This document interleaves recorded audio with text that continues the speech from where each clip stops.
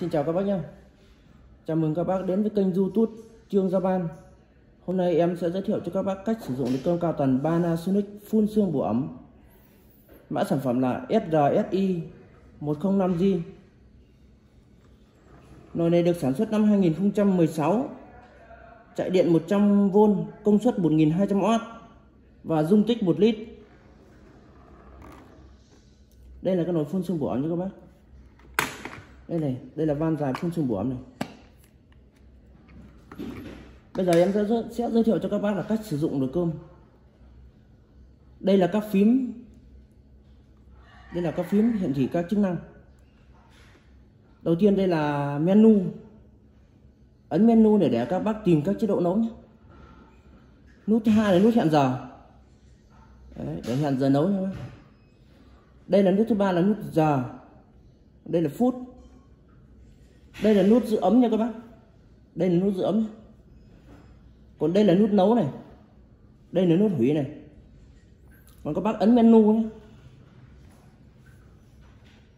Các bác ấn menu thì mỗi tên nó sẽ thể chuyển các chế độ nấu của các bác nhé. Đây nhé. Đấy. Bây giờ em sẽ dịch chuyển menu để giới thiệu ờ, tất cả các chế độ nấu cho các bác. Đầu tiên mũi tên hiển thị. Đây ạ, tương ứng với số 1 của em. Đây là chế độ nấu thường nha các bác. Đấy. mũi tên dịch chuyển tiếp theo sang số 2 các bác cứ cho là số 2 đi. Đó là nấu cơm cứng này. Tiếp tục. Số 3 là nấu cơm mềm. Cái chế độ nấu cơm mềm thì cơm rất ngon đấy các bác. Thứ tư là nấu ít gạo này. Đó. Thứ năm là nấu nhanh này còn nấu nhanh thì nó thực sự các bác là cơm cũng không được ngon lắm Đấy. nhưng các bác lưu ý nhé số 6 ở nồi bana van dài này thì có chế độ là nấu cơm cháy nhé. có chế độ nấu cơm cháy nhé. Đấy, số 7 tương ứng số 7 là nấu hạt kê này số 8 là nấu sôi này các bác lưu ý nhé số 8 nhé số 8 là là chế độ từ từ trong ra ngoài đây là là các bác phải ấn 3 lần. 1 2 3 đây là số 8 là chế độ nấu sôi nhé. Số 9 là gạo nứt này gạo nứt thì ở Việt Nam mình cũng không mấy khi ạ. Có ai nấu? Có 10 là nấu cháo này. Có nấu cháo này thì bác ờ, có hay nấu thì nấu thôi. Đó 11 là vệ sinh nồi này. Đó, các bác lưu ý nha tất cả các chế độ nấu thì ta sử dụng là menu này đó, để dịch chuyển tất cả các chế độ nấu đây ví dụ nhé mũi tên chỉ vào ờ, số 1 tương ứng với nãy em giới thiệu ấy. Đó là nấu thường. Đấy, các bác dịch chuyển đây nhé các bác muốn nấu thường rồi thì các bác dịch chuyển mũi tên đây. Các bác ấn. Đó sẽ hiện thị 56 phút. 56 phút được cơm sẽ chín. Đó. còn các bác muốn hủy để sang chế độ nấu khác thì các bác ấn nút này chưa? Đấy, lại dịch chuyển.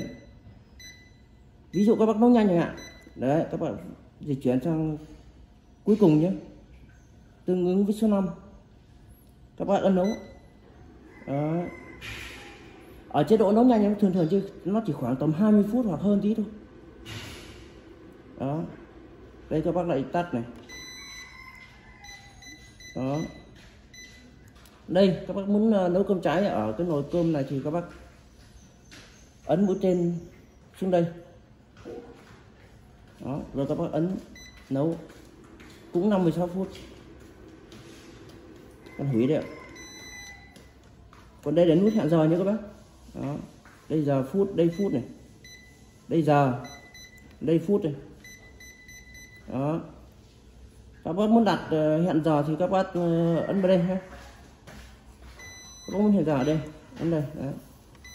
nó có hai chế độ giờ sáng và chiều nhé. Để bác ấn bây giờ bác ấn giờ này, phút này đó. Đây là hủy này. Đó. đây nhá các bác nhớ cho em đây là nút menu nhé. Để di chuyển các chế độ ăn nấu ăn nhé. Đấy. Nút này là cũng quan trọng rồi. Thường thường thì uh, các bác đa phần là chủ yếu là nấu tắt và hâm. Từ đây em giới thiệu đây nấu này tắt và hâm này. Còn thường thường mình hay nấu ở chế độ cơm thường gạo trắng cơm thường thì đây. Bác để ý trên đây và gạo trắng đây. Đây thị như số 8 thì dấu hoa thị. Nhé. đấy. Em đã giới thiệu xong tất cả các chức năng và tất cả các phím của nồi cao tần, phun xương bổ ẩm, Panasonic. Các bác xem video thì nhớ cho em một like và một nút đăng ký kênh nhé. Xin chào và hẹn gặp lại à, các bác ở những video sau.